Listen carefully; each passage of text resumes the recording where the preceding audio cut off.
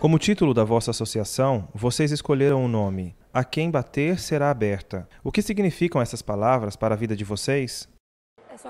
São aplicadas também à minha vida, porque todas as pessoas que eu encontro de qualquer gênero, de qualquer classe social, devem encontrar sempre a porta aberta, principalmente a do coração, que é a mais importante, e depois no campo material para as suas necessidades. O mais importante, sobretudo, é aprender a escutar o outro.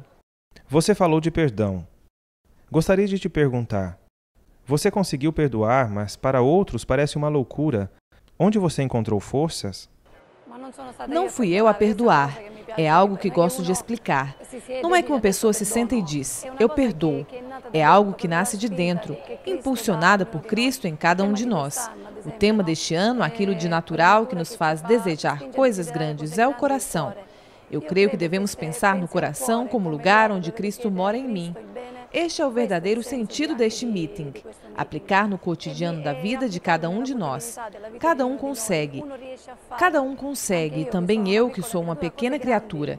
Consigo fazer grandes coisas, almejar coisas grandes. Grandes porque nos impulsionam a fazer coisas para as quais fomos feitos. Fomos feitos para voar alto.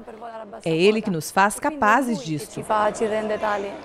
Então, esta dor e este sofrimento não são um limite para desejar coisas grandes? Não. É como se fosse um pico onde se salta com uma asa delta e se começa a voar nas alturas. Tudo isso foi como um trampolim.